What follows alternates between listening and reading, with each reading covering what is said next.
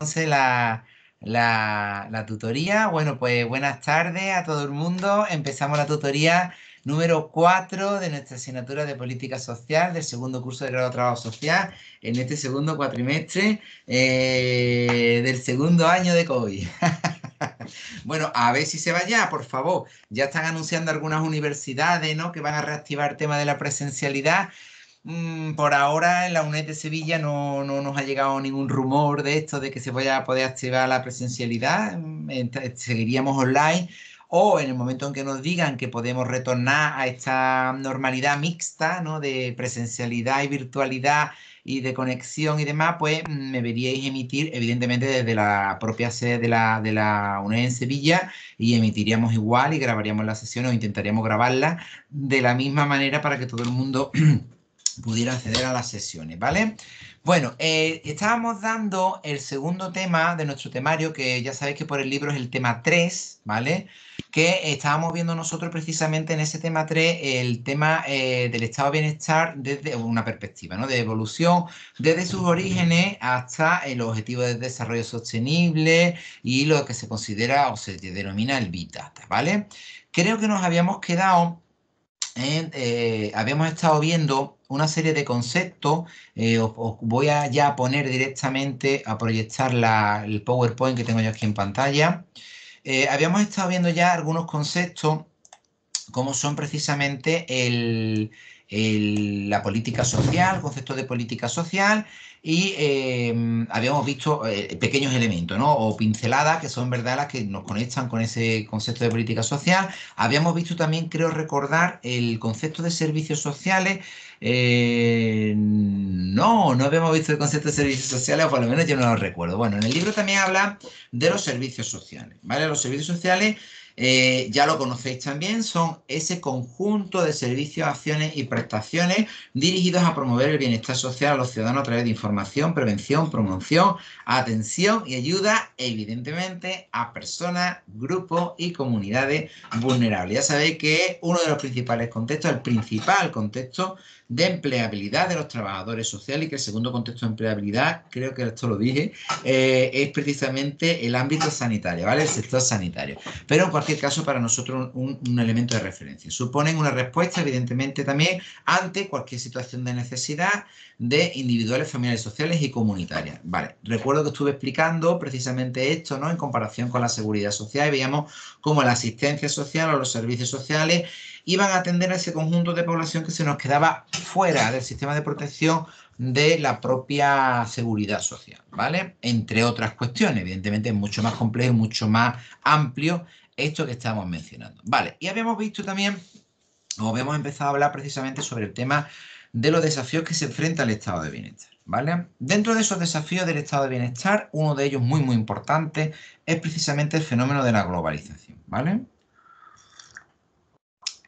Y decíamos, creo recordar también, que supuso la aparición de mercados mm, o elementos que van más allá de la frontera, ¿vale? Van más allá de lo, de lo transnacional, de lo nacional. Y decíamos, recordad que un estado de bienestar es un estado, es decir, está circunscrito a un ámbito geográfico territorial que regula y normativiza, ¿vale?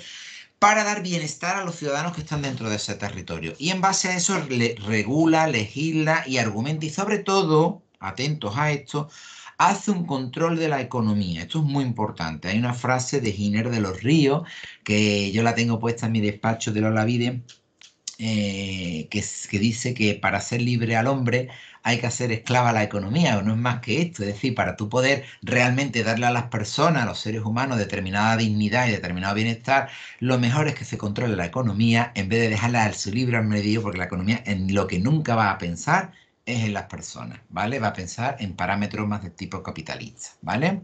Que es el tema de acumulación. Eso es importante. Entonces, ¿qué ocurre? Pues que con la globalización nos saltamos este, este filtro. La economía ha sido muy inteligente, ¿vale? Los mercados y los parámetros económicos ya desde los años 70, con la crisis del 73, la denominada crisis del petróleo, que fue técnicamente eh, lo que Anisi, David Anisi, un economista muy interesante que os recomiendo que leáis, Anisi, ¿eh? Eh, de un libro que se llama Creadores de Escasez, una maravilla económica, ya tiene sus años, pero explica perfectamente esa crisis de oferta que llevó a la destrucción del estado de bienestar, ¿vale? Yo lo, os lo recomiendo de verdad, pero no para la asignatura, por favor, que ya tenéis bastante que estudiar, sino esa lectura chula o complementaria que podéis hacer en verano si os mola el tema, vamos, si no puedo leer otra cosa, pero yo lo recomiendo. Pero técnicamente es esto, si la globalización evidentemente al saltarse esto hace que los estados pierdan mucha fuerza, mucha capacidad. ¿vale? De hecho, ahora para cualquier cosa tenemos que sustentarnos lo que diga la Unión Europea, los denominados mercados. Los mercados están contentos, descontentos con tal situación del gobierno. Si los mercados no votan, no son democracia. Los que tienen que estar contentos y descontentos con una acción de un político, ¿vale? O de un gobierno, son sus ciudadanos, son sus votantes y son a los que se debe. ¿Vale? Recordad que los políticos están donde están porque nosotros se lo toleramos y se lo permitimos a cambio de que nos cuiden y miren por nosotros, por todos, no por los mercados. Los mercados aquí no son nadie.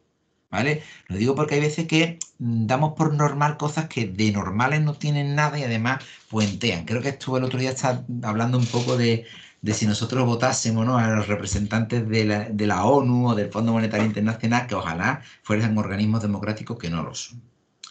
Bueno, otro desafío que tienen evidentemente es la gran recesión internacional y la respuesta europea que se ha dado. La recesión internacional no hay una, había mucha, pero realmente, de hecho, una de recesión gordísima. Recesión en economía es un periodo de que cae la economía porque cae, se destruye empleo, se destruye producción, se destruye consumo, no hay crecimiento económico, eso lo llamamos recesión económica.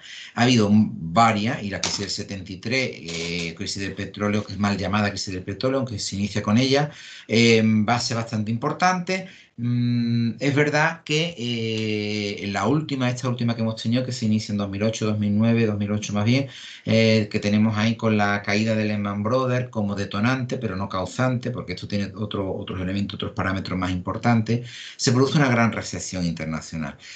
Eh, esa, recesión va a generar mucho cuestionamiento, dice el libro, una crisis, un cuestionamiento de lo social y del propio estado de bienestar. Esto es una, mm, una pasada porque Fijaros, el, mm, en vez de cuestionarte el sistema económico, como diciendo, oye, mira, este sistema económico está mal montado, se montan burbujas, eh, hay, una inflación horrorosa, está, eh, eh, determinados elementos tienen un impacto de la economía no real sobre la economía real, esto habría que redefinirlo, habría que cambiarlo, habría que quitar esos elementos y disociarlos de la empleabilidad en vez de plantearnos temas de este tipo, temas de política fiscal, en vez de emplearnos, eh, replantearnos el sistema de donde cogea, lo que hacemos es cuestionarnos lo social. ¿Vale? Y lo que ha hecho la crisis, o sea, la crisis, en vez de delimitar o limitar o controlar más lo económico, le dado más fuerza. De hecho, las ayudas económicas que se dieron no fueron a las personas en la crisis, se dieron a los bancos. Es desesperante. Oye, si se hubiesen dado esos miles de millones a la gente, ¿qué hubiese hecho la gente con ellos? Pues lo hubiera gastado, hubiera reactivado la economía. Pero así de claro, ¿eh? La gente con dinero lo que hace es gastar. Y gastar es consumir. Consumir es mover economía. Y mover economía es aumentar empleo, producción, ingresos en los estados por vía de impuestos, por compra, por... ¿Vale? Es una economía keynesiana. Hubiese estado chulo que se hubiesen repartido los millones a la gente, pero así directamente, ¿eh? sin más nada ni más nada. Em, crisis y cuestionamiento de lo social es lo que se ha obtenido. Es decir, evidentemente, si se cuestiona lo social, porque es lo que ha generado más, sí, fijaros que la atención social y la preocupación por lo social desde lo público y desde lo privado cae. ¿Vale? Esto es muy importante. ¿Vale? Por tanto, el impacto es tremendo. Fijaros las situaciones que nosotros encontramos de pobreza. No me voy a meter en la situación COVID, sino hasta llegar a COVID, ¿vale? Por no meterle la variable COVID, cómo había empeorado la calidad del empleo, temas sociales, la, brecha entre ricos y pobres, el empobrecimiento general de la clase media, el empobrecimiento general del trabajador. Se habría creado un, un, nuevo tipo de pobre en España, que es el pobre trabajador. Pensaba que antiguamente decía, si trabajas ya ni pobre, el trabajo te quita de la pobreza. No, no, no, no, ya no. Hay trabajo que está trabajando desde sol a sol o más ¿vale? Y con los ingresos no te da para pagar las facturas, para comer, para las medicinas, para tu niño, para el libro, para no sé cuánto, no te da para pagar. Entonces es un nuevo tipo de pobre, casi esclavo, ¿vale? Aquí hablamos de lo social y el empleo, evidentemente ha salido muy, muy, muy mal parado. Es lo peor de la crisis que nosotros hemos vivido. Además le añadimos el tema del COVID, como para más INRI, con lo cual mm, ahora justificamos que la cosa esté muy mala por el COVID, pero es que antes, en la situación pre-COVID, desde el punto de vista de los trabajadores sociales, es, era ya insostenible y horroroso. ¿Vale? En Europa, ¿por qué es peor que en Estados Unidos? Pues por las políticas europeas. La respuesta europea fue una política eh, económica de ahorro, que se llama, o de contención del gasto, o, horrorosa la palabra, austeridad. ¿Vale? Esto sonará de ese tiempo, aplicadas aquí en España de manera férrea, eh, pero eh, que llegó como contrapartida a otro tipo de política, que fue la del norteamericana. Norteamericana lo primero que hizo fue gastar generar mucho gasto desde la administración pública del Estado. ¿Qué pasa? Que la crisis allí duró meses y la crisis en Europa duró años y si nos vamos a los países menos mejores dentro del punto económico y laboral europeo, que son la esfera mediterránea, pues ya realmente es que todavía no nos hemos enterado en España de que hemos salido de, esa crisis. Cuando ya estamos en la COVID-19, vamos juntando una crisis detrás de otra, ¿vale? Ya digo, son elementos que los tenéis, ahí para reflexionar, para trabajarlo en, el término, ¿no? Es verdad que en Estados Unidos ha habido una mejor respuesta ante la crisis, pero tienen peores políticas de protección social y que en Europa, pues es verdad que ha habido mejores políticas de protección social, pues tienen estados de bienestar bastante más desarrollados que el norteamericano, bastante, pero mm, respuesta económica ha sido realmente muy, muy, muy, muy errada. Cuidado, que eso no significa que la economía haya ido mal, significa que la economía ha ido muy bien para unos cuantos muy concretos, que podéis ver quiénes se han enriquecido, qué empresas han facturado más, qué banca ha facturado más. Banca, recordad que a la banca es a quien nosotros le ayudamos y le damos millones, ¿vale? Esos millones mm, ojalá viniesen de vuelta alguna vez. Retos y medio a largo plazo también, pues evidentemente el tema de la financiación. ¿Vale? Eh, ya, ya enlazamos con esto. El libro dice, oye, mira, para que haya estado bienestar tiene que haber fuente económica, fuente de dinero. ¿Vale? El estado de bienestar se basa precisamente en el principio, os dice el libro, muy acertadamente, el principio de redistribución de la riqueza. Claro, si es un principio de redistribución de la riqueza, significa tener, de, coger o tomar de donde hay, ¿vale? Para poner donde no hay. ¿Vale? Esto es redistribuir la riqueza. Eh, ¿Quién lo va a ver muy bien? Pues quien reciba. ¿Quién lo va a ver muy mal? Pues quien aporta. ¿Vale? Esto es como todo. ¿Vale? Si yo soy una persona inmensamente rica y yo tengo que aportar dinero y más que otra persona, pues yo lo veo mal. ¿Vale? Porque es mi dinero, yo considero que es mío. Ese dinero va para una cosa que llamamos gasto. Gasto, que feo la palabra. En verdad se llamaría inversión social, pero lo llamamos gasto. ¿Vale? Es una inversión social. ¿vale? Pero ese gasto, claro, el que lo recibe dice, pues yo lo veo muy bien, ¿por qué? Porque no tengo para comer, no tengo para llevar a mi niño al colegio, soy una persona mayor y necesito una pensión, este colegio público necesita tener maestros, en este, este, este sitio donde hay médicos, hay los médicos para que pagarle el sueldo. Se va entendiendo, decir, eso, esos elementos, esos trasvases de política de bienestar se basan precisamente en un principio de redistribución de riqueza. Pero la gran crisis financiera, os pone el libro y se ha puesto ha supuesto un empobrecimiento de la población y un aumento de las desigualdades sociales. Es decir, ese elemento de financiación no se ha aportado. ¿Por qué? Porque fijaros, el sustento principal de los estados de bienestar eh, viene siendo la clase media. La clase media que le ha pasado durante la crisis porque se ha empobrecido. Se ha empobrecido o ha caído en el desempleo. Es decir, quienes más aportan, quienes más aportan son los del medio. Esa clase media se ha fragmentado y ha sufrido mucho con lo cual deja de aportar porque ahora están en la clase de abajo y ahora se convierten en personas demandantes de ayuda. ¿Qué le ocurre al sistema? Pues que ingresa menos, pero tiene que aportar más. ¿Qué le está ocurriendo a los bancos de alimentos? En España, los bancos de alimentos, que cada dos por tres tienen que hacer llamadas de socorro, porque es que han visto ampliar muchísimo, muchísimo, muchísimo la demanda de alimentos y cada vez ven menos ingresos de alimentos. es un problema gravísimo. Pues con eso con todo lo social, ¿vale? Tema de pensiones, tema de lo que tú quieras, ¿vale? Esos elementos están ahí, tienen que ver con la financiación. El problema, pues evidentemente es que son las fuentes de financiación se basan, como os pongo aquí, en la clase media, que es la trabajadora, y claro, resulta muy difícil. Si tú a la clase media la tratas mal, la clase media no te puede sostener el sistema. Pero es que además redistribución. Se supone que a mayor cantidad de ingresos, más aportación económica. Pero esto tiene una serie de reglas que no molan. Y os voy a explicar por qué. Por ejemplo, yo, yo soy funcionario. Yo pago un 23, 24, 25% de mis ingresos, sin contar lo que yo compre, que tiene un IVA, yo no estoy contando otro tipo de impuestos, solamente ese que tiene que ver sobre mis ingresos. Eso a mí evidentemente me la retienen directamente de nómina, a mí no me llega ese dinero en la vida, pero yo entiendo que está muy bien puesto. ¿Por qué? Pues porque, mire usted, yo tengo familias que son personas mayores que son pensionistas, me parece divino. Y yo tengo niños, mis niños van a colegios públicos, en mi colegio público, pues yo pienso que parte de mi dinero, pienso que va para pagarle eso. Y yo, en mi, calle tiene una farola, y yo pienso que mm, esa farola pues también se ha pagado de ahí. Y yo pienso que yo cojo una carretera para ir a trabajar y también cuando yo me pongo malo, pues voy a un médico que está allí que también saldrá de mis impuestos. Hasta ahí estamos de acuerdo, pero ahora voy a poner un, caso. Yo entiendo que la gente que tenga salarios más bajos pague menos impuestos, que si no tiene salario, evidentemente no puede pagar impuestos. Ahora nos vamos para arriba. Y a mí se me queda cara de tonto.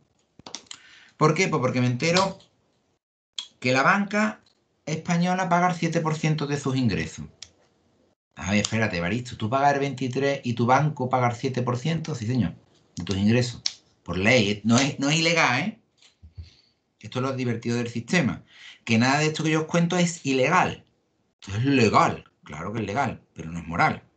Pagar 7%, usted paga, que pague el 23%. Yo no digo que yo pague el 7%, ¿eh? yo sigo pagando lo mismo. Yo estoy de acuerdo en pagar mis impuestos. Porque sé, sé dónde pienso que van. ¿Vale? Pero que paguen todos los que tengan que pagar lo mismo. El 23%, pues la banca que pague el 23%. Que pague el 23% de sus impuestos toda la banca coopere a nivel nacional. ¿Vale? Las grandes fortunas. Grandes fortunas. Che, las grandes fortunas pagarán un montón. El 1%. El 1%. La grande fortuna paga el 1%, sí, el 1%. Y no estoy contando lo que se va afuera, ¿eh? Evasión fiscal, paraísos fiscales, de nadie, ni de banca, ni de grandes fortunas, porque como no lo sé, lo intuyo. ¿Vale? Sino lo que declaran en España. De lo que se declara en España el 1%. ¿Se va entendiendo? Entonces, tú dices, hombre, si pagar 23, la banca, por ejemplo, las grandes fortunas pagarán lo mismo que yo, ¿eh? Si clase media, hostia, el sistema de pensiones se sostiene, y los colegios públicos, y los médicos también. No sé si me estoy explicando. Eh, si son elementos mm, que te pueden llamar la atención. Entonces, el gran reto, pongo aquí, es una adecuada política fiscal. O sea, el gran reto de la financiación realmente pasa porque de verdad se haga una revisión fiscal en condiciones y todo el mundo pague de los que tengan que pagar, paguen en proporción a lo que deben de pagar. Fijaros si esto es importante. Hay un estudio publicado de este año, de este año en Estados Unidos. No recuerdo la universidad, pero a veces lo localizo. Creo que lo tengo publicado en mi red de LinkedIn, ¿vale? Si queréis buscarlo por ahí, porque estas cosas suelo publicar, suelo rápidamente compartirlas para los colegas profesionales y docentes e investigadores donde el estudio demuestra que a más impuestos pagan o pagasen, que no, no funciona así en los países, ¿eh? quitando algunos países nórdicos europeos que lo tienen más, mejor regulado que nosotros, a más pagasen las grandes fortunas eh, mundiales, grande, gran empresa, grande, grande, mm, grande eh, em, fortuna, em, banca, etcétera, etcétera, más ganarían ellos. ¿Por qué? Pues porque ese trasvase de dinero iría directamente a las clases que ahora mismo no pueden consumir. ¿Se va entendiendo? Y ese trasvase de dinero, además de generarle a esas clases más humildes un beneficio, ¿vale? Y sacarlo de esa condición de pobreza, los convierte en consumidores. Imaginaros todas las personas mayores como estaban antes, sin pensiones. Toda esa gente, aparte de que se morirían, no se podrían sostener y sería una carga insoportable para las familias, ¿vale? Como pasa en muchos países donde no hay pensiones y tendrían que trabajar hasta que se mueren, ¿vale? Aparte de eso, no serían consumidores. Fijaros ahora lo que supone todas las personas mayores con sus correspondientes pensiones gastando dinero todos los meses. Contribuyen al desarrollo económico y ¿a dónde va el dinero? Pues va al sistema capitalista, y va a esas mismas manos, banca, gran empresa, grandes fortunas, porque son, el sistema está montado para que el flujo de capital vaya para ellos. A más dice este estudio, este estudio ¿eh? norteamericano, más impuestos pagasen esas clases pudientes, más se enriquecerían. Pero claro, el sistema capitalista mm, y las clases que tienen mucho capital ven a corto plazo. A mí me va a costar dinero, yo voy a poner dinero y eso cuánto me da, en cuánto tiempo me da. Hoy yo no espero tanto. ¿Por qué? Porque el sistema capitalista se basa en la acumulación rápida y brusca y pronta de dinero de capital. Y todo lo que no sea eso no me interesa. ¿Vale? Pues evidentemente por eso es, tan importante encorsetar la economía y controlar los elementos económicos. Bueno, lo vamos a dejar ahí, ese estudio a ver si lo localizo y os lo comparto y si no ya digo en la red mía por ahí lo, lo tengo compartido. Retos también, pues evidentemente la cuestión de género, el tema de la feminización es muy importante. Además, fíjate, ahora hemos tenido aquí el día 8 de, de marzo el tema de la feminización del mercado de trabajo, con todas las variantes y características que eso tiene. ¿Por qué se pone aquí como elemento sobre la mesa? Porque impacta en elementos de conciliación y en elementos de baja natalidad, pero además impacta también de otra manera. Es decir, si la mujer deja de tener el rol esencial del cuidado, por ejemplo, de las personas dependientes, ¿quién las cuida? ¿Cómo se sostienen con el sistema? Si vosotros vais a la propia ley de dependencia y de creación del sistema de la ley de dependencia en la declaración de intenciones inicial, que tiene la ley de dependencia española, habla justamente de estos cambios sociales y demográficos, especialmente los cambios en el tema de la mujer y la incorporación del trabajo, cómo esos roles se van rompiendo y deben de ser suplidos o deben de ser complementados por el estado de bienestar. La cuestión de género tiene muchas variables, muchos elementos interesantes, pero uno de ellos, en términos de impacto al estado de bienestar, viene reflejado en los comentarios que vais a ver vosotros por ahí y vais a poder analizar en, en la lectura del libro. Más cuestiones que tienen impacto. Claro, estos son cambios demográficos. Cambios demográficos. Hemos visto el tema de género, pero el tema de edad es igualmente importante, sin que antes se nos ha cruzado. La longevidad y el envejecimiento poblacional.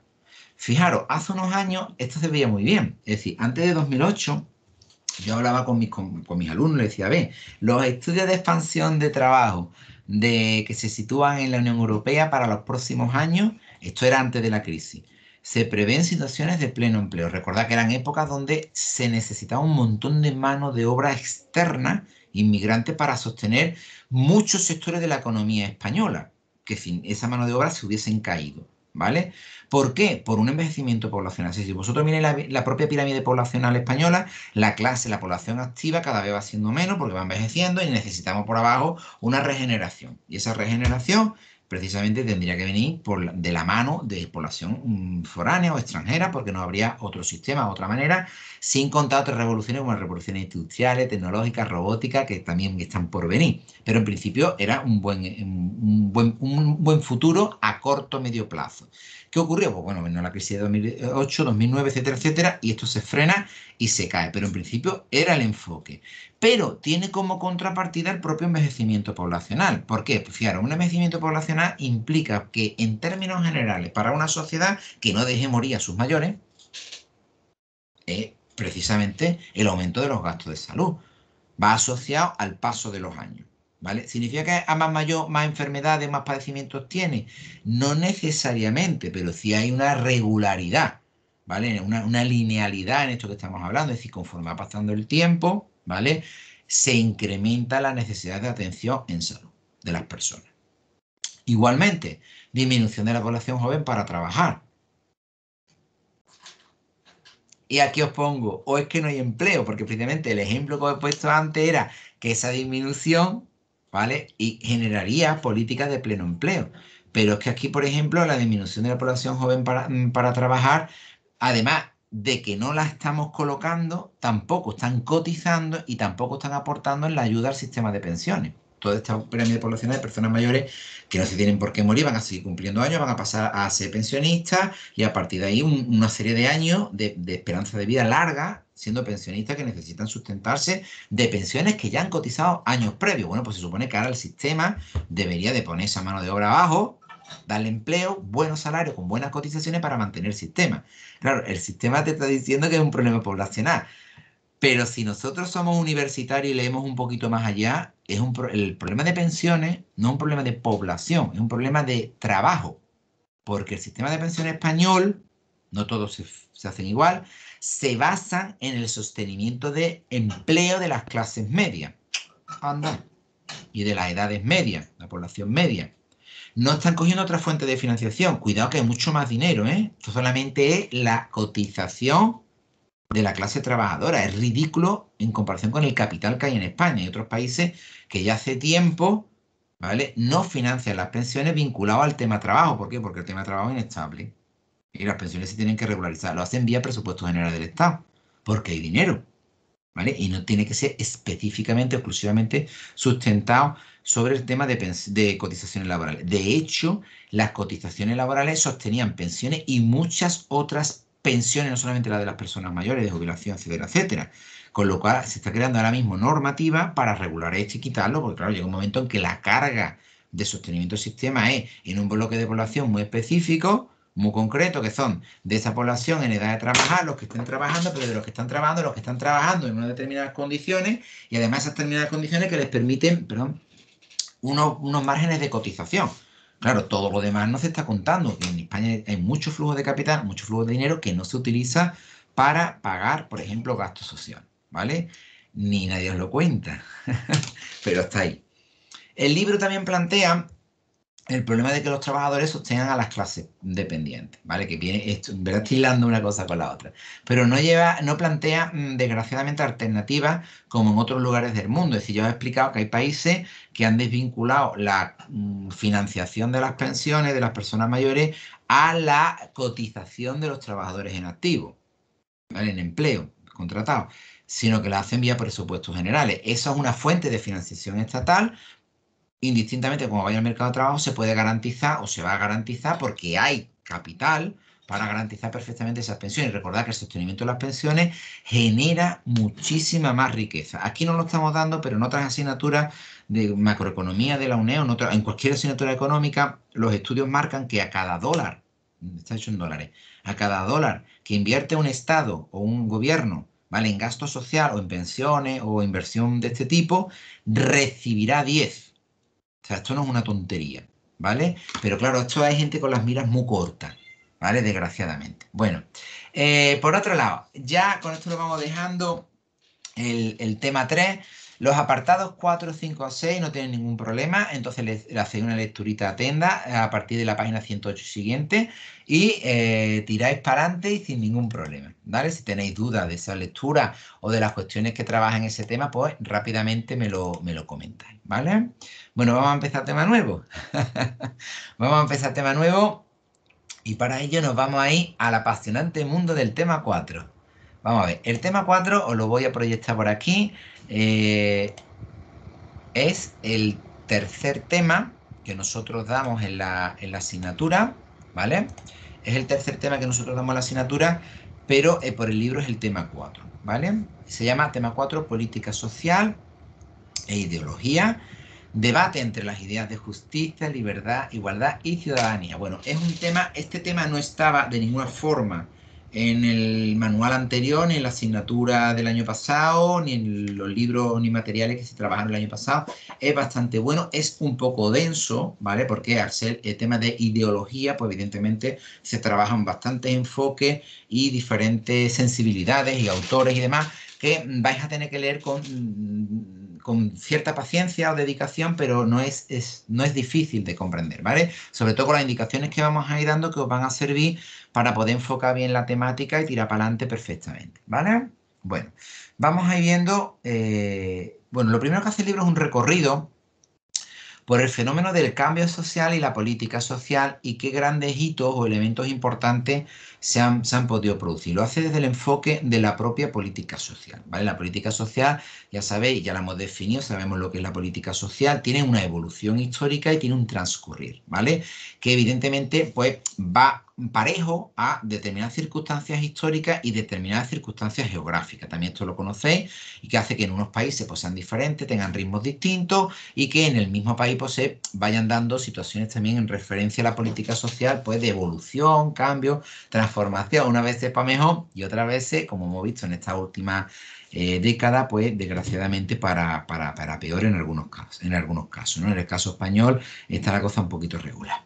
Bien, bueno, en, la política social surge, el libro va a marcar diferentes momentos, hemos dicho, en el contexto de las revoluciones industriales. Estamos hablando eh, en los siglos XVIII, del siglo XIX, de esto hemos explicado harto, una barbaridad en el tema 1 y viste una asignatura en primero de trabajo social de la UNED eh, que se llamaba Estado y Sistema de Bienestar, donde dimos esto, y también en la asignatura de orígenes eh, del trabajo social, donde también eh, y evolución del trabajo social, donde también se trabajó mucho este tipo de elementos. Son cuestiones que tienen que ver con las revoluciones industriales. Recordad que las revoluciones industriales cambiarán las sociedades, ¿vale? En muchos sentidos, pero uno de ellos va a ser el impacto social que va a tener esa nueva sociedad que se basa precisamente en esa organización fabril de producción que tiene que ver con esas máquinas, que tiene que ver con esos centros que se llaman fábricas, que tienen que ver con una serie de personas que no trabajan pero controlan los sistemas de producción y un montón de gente que no controla los sistemas de producción pero que trabajan para esas personas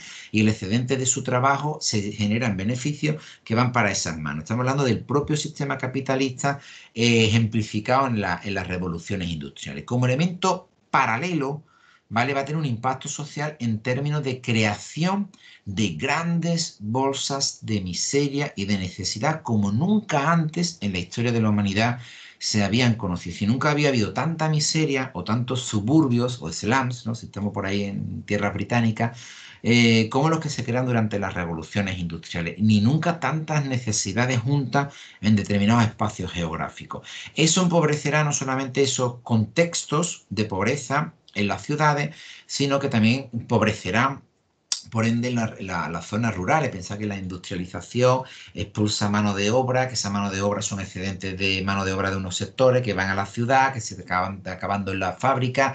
Esa producción abaratan determinados costos, yo que sé, en temas de prenda, por todos los artesanos que vivían del tema de elaboración de prenda, también destruyen empleo, destruyen, que terminan en la fábrica. Que, o sea, hay un, hay un movimiento generalizado, pero ese movimiento generalizado no crea un bienestar social, ni siquiera va asociado a una clase media, ni nada que se le parezca en sus principios, ¿vale? Las clases medias funcionales, perdón, eh, funcionales, que son este tipo de clases medias que tienen, van vinculadas al salario, tendremos que esperar bastante hasta el Fordismo, los años 30, 1930, 40, 50, para empezar a ver el desarrollo este, ¿vale? Entonces, fijaros, todo lo que hay antes, es decir, trabajar en los sistemas de, de revolución industriales, era vivir en situaciones muy parecidas a la esclavitud, con un salario, ¿vale? De hecho, esas personas que trabajaban en los sistemas de revoluciones industriales tienen un nombre o tenían un nombre que eran los el proletariado. ¿Qué son el proletariado? Pues el proletariado son los que viven de su prole.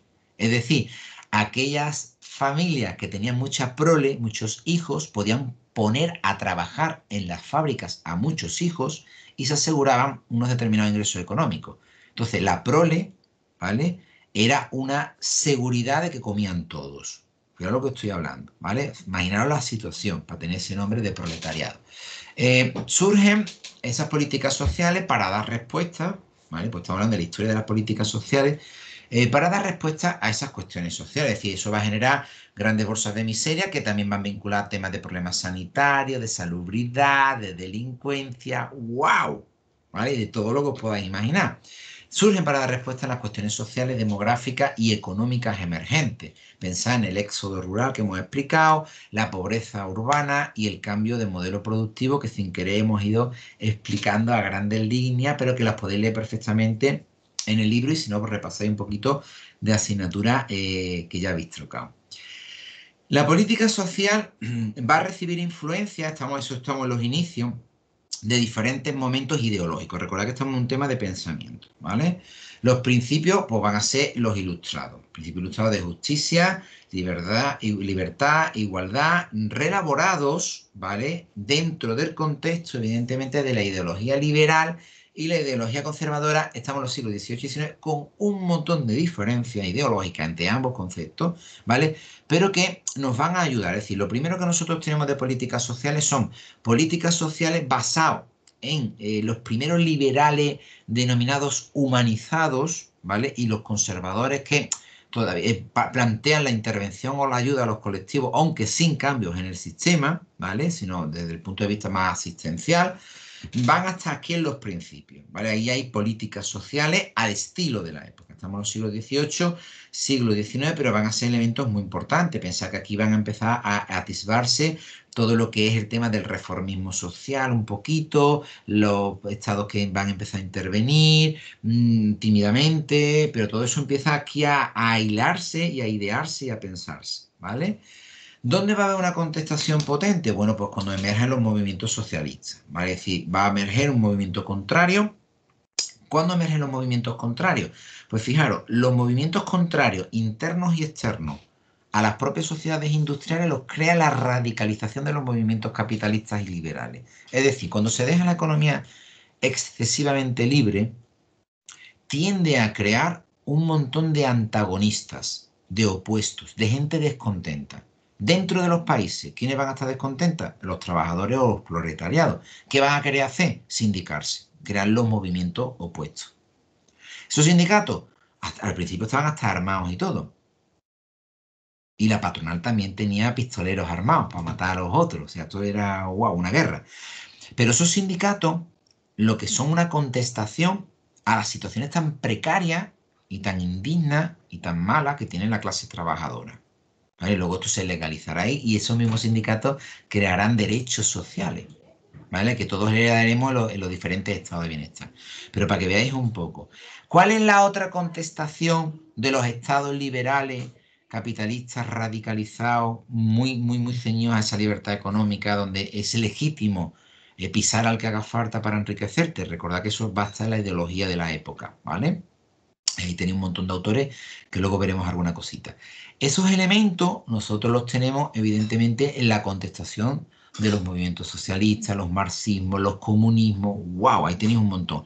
Pero todos ellos no surgen de la espontaneidad o de vamos a inventarnos algo nuevo, no. Surgen como una contestación o alternativa a un movimiento que es excesivamente árido, ¿vale? Un movimiento que es excesivamente duro, ¿vale? Con las personas, con los sujetos sociales. ¿Vale? Y surgen alternativas, fijaros, surgen como contestación interna a los sindicatos y como contestación externa a las ideologías alternativas al liberalismo opuestas y enemigas a ultranza, ¿vale? Esos elementos pues los vamos a tener en esa contestación.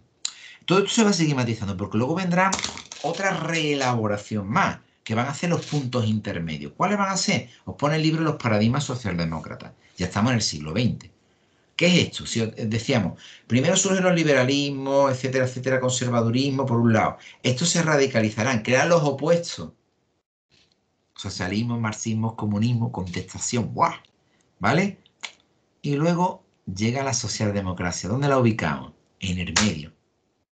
Esa socialdemocracia es liberal, que es capitalista, pero aplicando políticas de igualitarismo al estilo social y marxista se va entendiendo, del socialismo y del marxismo. Se llama socialdemocracia. Es socialismo democrático, pero es una fusión. Esa socialdemocracia será el eje fundamental ideológico que va a sostener las políticas sociales del estado de bienestar. Y vive de la presión de sus opuestos. No sé si me estoy explicando. Es decir, estamos en plena Guerra Fría, ¿vale? Este bloque y este bloque se respetan. ¿Qué va a pasar cuando caiga el muro de Berlín? Cuando caiga el muro de Berlín, socialismo, marxismo, comunismo y se deslegitime, era Gorbachev, recordad esos años, ¿vale? Estamos ahí también en la era Thatcher, wow, duro, duro, neoliberalismo puro, Reagan, muy duro, ¿vale? Todo eso cae, ¿vale? Esta vertiente liberal ya no tiene por qué respetar esto que está en medio. No tiene límite. ¿Qué hace? Se lo come con patatas fritas y surge neoliberalismo nuevo liberalismo, hasta hoy hegemónico. ¿Vale? Hasta hoy hegemónico. Lo digo porque vayáis enfocando las ideologías y qué es lo que va ocurriendo para que entendáis bien la lectura del tema. La política social se desarrollará a sus máximos, hemos explicado antes, con los estados de bienestar. Ya sabéis que más que eso no, hemos inventado nada. ¿Vale? Aquí estarían en esa confluencia ideológica o de ideas, estarían cosas que ya conocéis. Voy a intentar no, no extenderme. Por ejemplo, las, ideas, económicas, ¿vale? O los postulados keynesianos, ¿vale?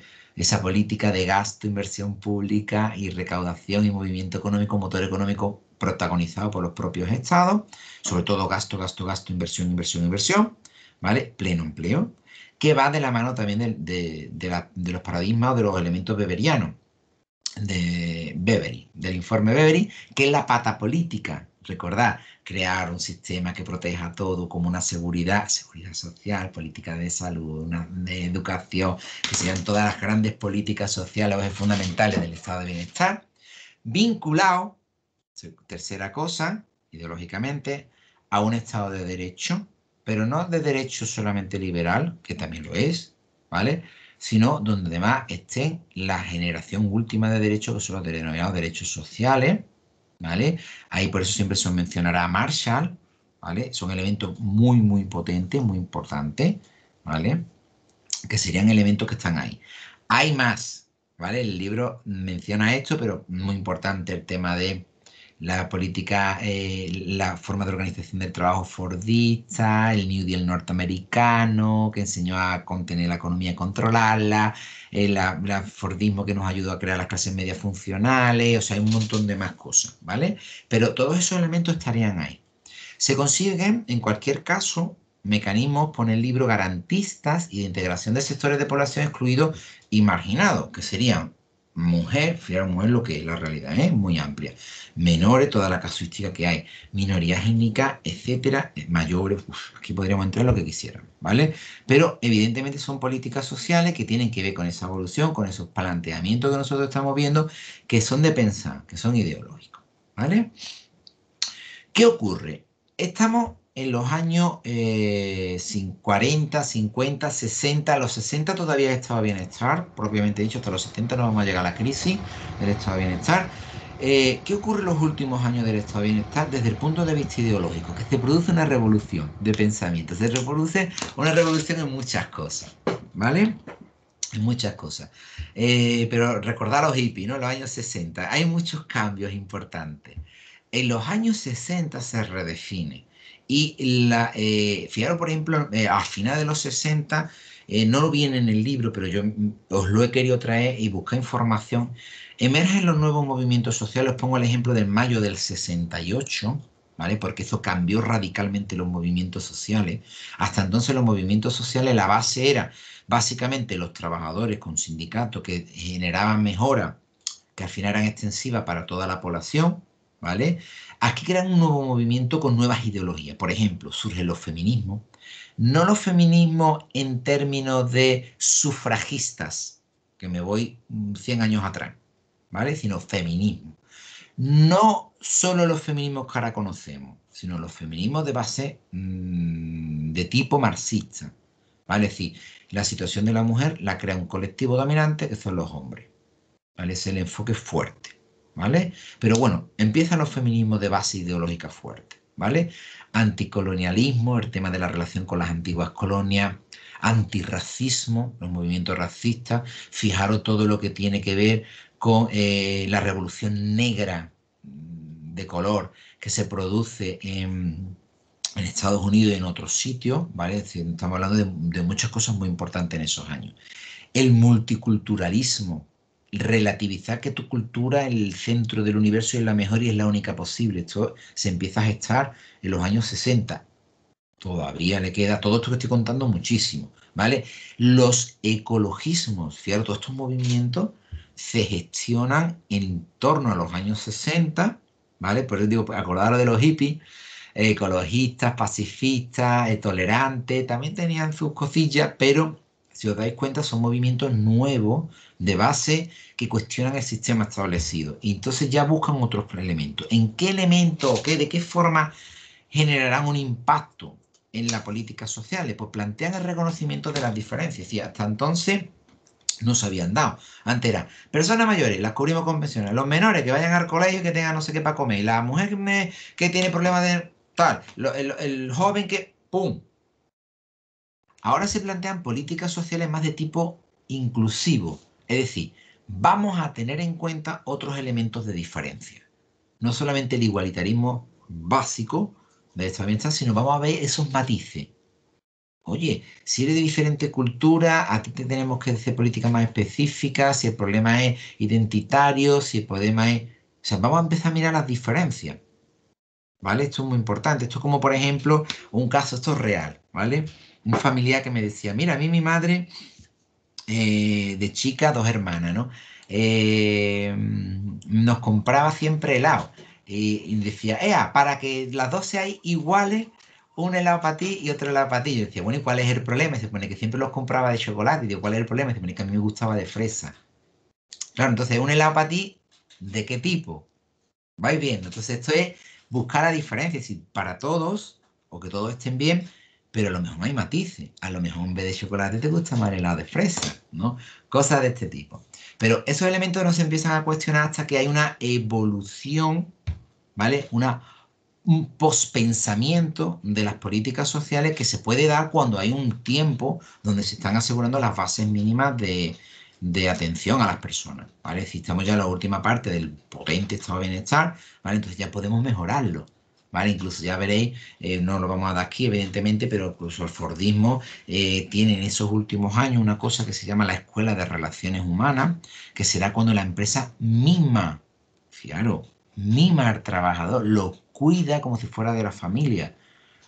¿Vale? Eso de que una persona dejaba un trabajo y lo heredaba a su hijo y venía su hijo a trabajar por él, esto tiene que ver con la Escuela de Relaciones Humanas que estás estado aquí. Es decir, mismo esa conexión con el trabajador. Anda igual que ahora.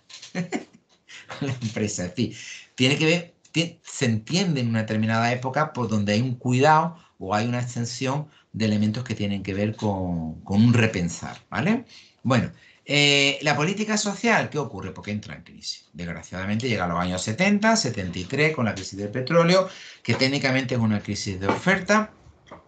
Eh, si os parece bien, lo que vamos a hacer, no quiero entrar en la crisis, sino que lo que voy a hacer es que lo voy a, lo voy a dejar aquí un poco para que lo vayamos viendo y el próximo día iniciamos con este pensamiento, qué ocurre en esa crisis, aunque ya se supone que habéis leído del tema 1 y otras asignaturas, pero ubicamos un poco esas ideas, ¿vale? Y a partir de aquí lanzamos, ¿vale? Hoy hemos avanzado bastante, hemos terminado el tema 3 y hemos empezado el tema 4, en verdad el tema 2 y el tema 3, pero bueno, eso es el tema 3 y el tema 4 por el libro, y el próximo día mm, nos reubicamos y damos más, más caña, ¿vale? Bueno, a ver, dudas o preguntas que tengáis de lo que hemos visto hasta aquí, por favor. Cualquier cuestión que me queráis plantear antes de que cerremos la sesión.